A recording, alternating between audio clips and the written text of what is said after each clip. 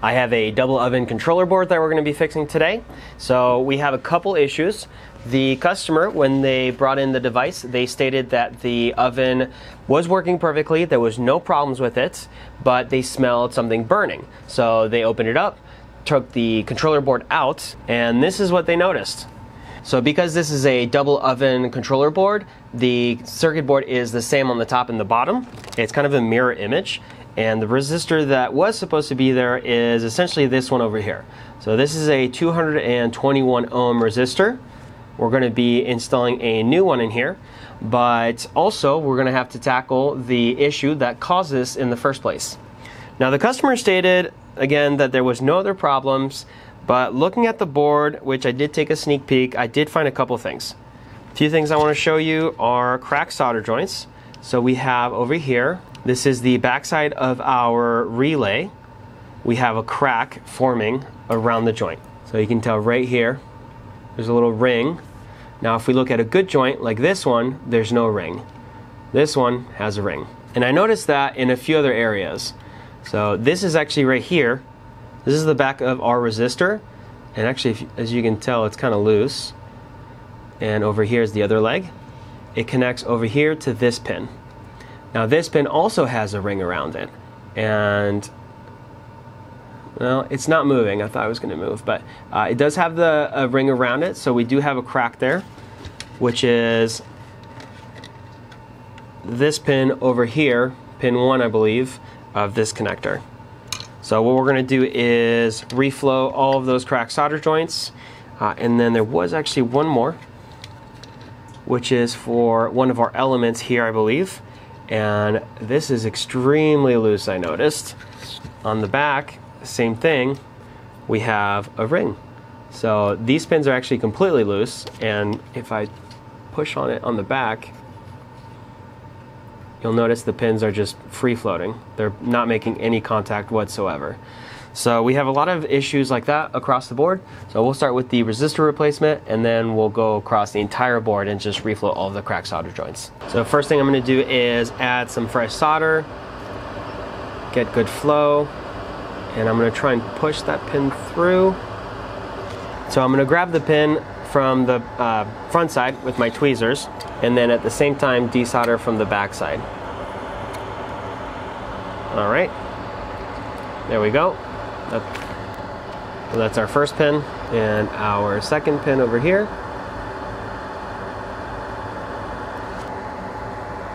All right, and that's our second pin.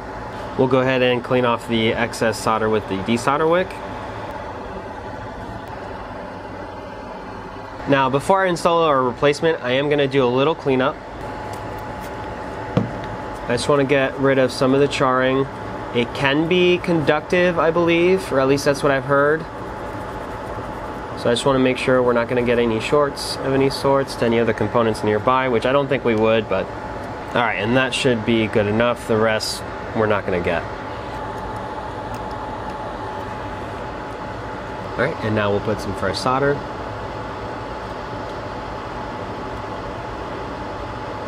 We'll cut off the leads and we'll clean up some of the flux off. Now with the desolder wick, I did actually desolder a little bit of the solder that was here, but that's not gonna make a difference or be important. So we'll leave it as is. And now we'll start reflowing some of the cracked solder joints. So we had this guy I wanted to take care of. And I'm gonna start by adding some fresh solder to it, just so we can get some good flow and then I'm going to remove it all with our desolder pump. I guess it's probably not necessary, but I do like to put fresh solder uh, whenever we have cracked solder joints. Technically, I could put just some flux and reflow the whole thing, but I don't know, I just have it. Prefer to put my leaded solder on there instead. So we have a few over here. So I'm just gonna add a bunch of solder to all the joints first, and then we'll desolder it all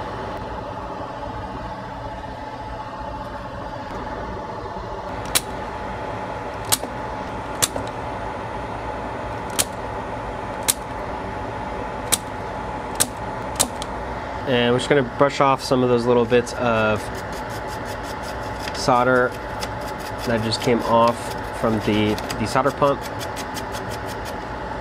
All right, and now we'll add that fresh leaded solder.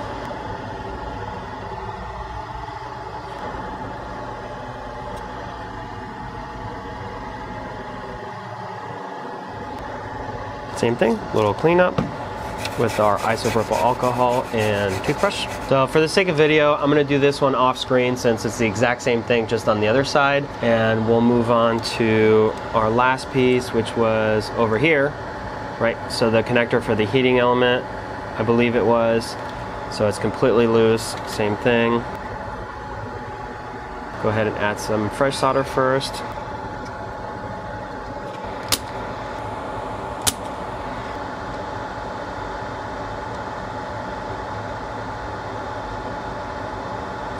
And now that piece is very sturdy. It's not moving at all because we have our fresh joints over here. All right, so that concludes our repair for the oven controller board. If you found the video helpful or useful, leave us a like and subscribe, and thank you for watching.